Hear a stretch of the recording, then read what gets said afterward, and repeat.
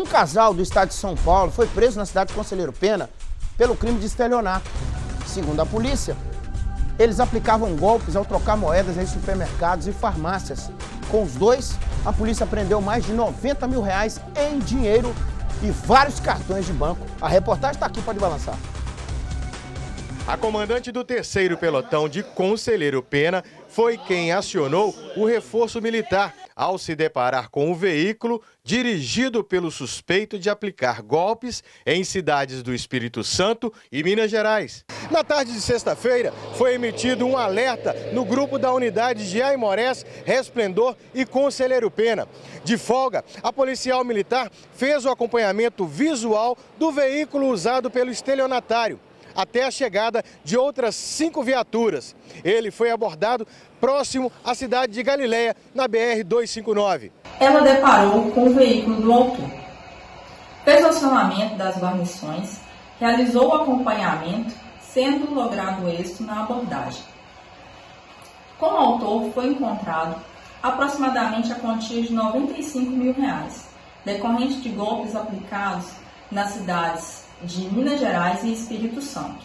Dentro do carro havia uma criança e a mãe dela no banco do carona. A PM desconfia que o casal viajava escolhendo cidades aleatórias. O alvo para a prática do estelionato eram supermercados e farmácias. Esse casal ele alugou esse carro em Vitória, Espírito Santo, e veio aplicando, aplicou golpe em cinco cidades do Espírito Santo. Né? Nesse intuito, ele chegou em Minas Gerais e passou por Aimorés, onde ele aplicou golpe em vários supermercados passou por Resplendor, chegando até Conselheiro Pena. E eles pegavam um saco de moeda, eles tinham vários sacos de moeda. Eles se, se identificavam como donos de redes de sorveteria. Ele pegava um saco de moeda que tinha 200 moedas e trocava, falava que tinha duas mil moedas e pegava dois mil reais em dinheiro. Quando o dono do supermercado ia contar, só tinha 200 pratas de moeda. Ele usava a seguinte forma, como está tendo a Black Friday, né? movimentação de pessoas, ele deixava o telefone e falava com a pessoa que era só ligar para ele sumia. E dessa forma ele foi chegando até Conselheiro Pena. Quando ele chegou ao Conselheiro Pena, ele aplicou o golpe em dois supermercados.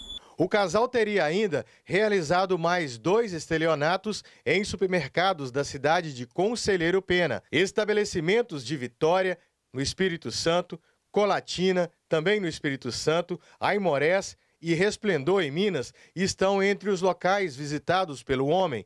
O dinheiro recuperado, 90 mil reais em espécie. Dois aparelhos celulares e vários cartões de bancos foram apreendidos. Uma máquina de separar e contar moedas foi interceptada e será periciada. No sábado, o casal que é da cidade de Bauru foi trazido para a Delegacia de Polícia Civil de Valadares.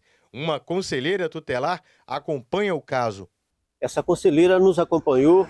Em caso de flagrante, se ela ficar presa, mais o rapaz, essa criança vai ser entregue à conselheira tutelar e será encaminhada à casa lar de conselheiro Pena, onde será esperado um parente para ser entregue a essa criança.